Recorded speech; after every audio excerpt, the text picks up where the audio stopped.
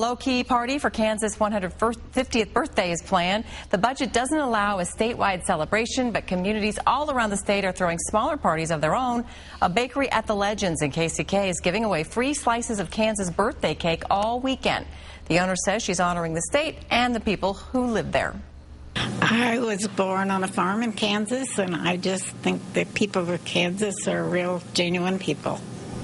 Marianne is doing some celebrating of her own this weekend, too. She turns 84 tomorrow.